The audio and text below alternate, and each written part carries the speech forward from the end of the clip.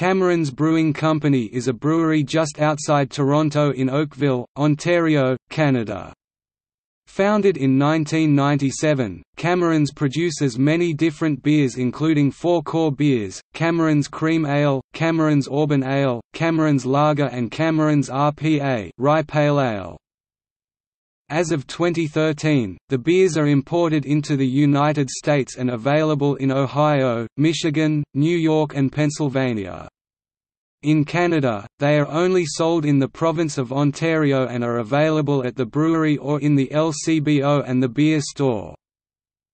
Cameron's was known for selling beer in nine packs of beer for much of the brewery's first years, now however the brewery sells in traditional six packs. Cameron's Brewing Company won two medals in the 2007 and 2008 Canadian Brewing Awards.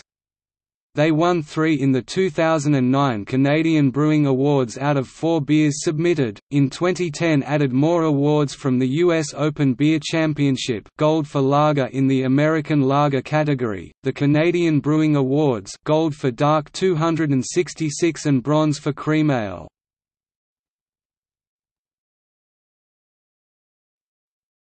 Topic: Beers.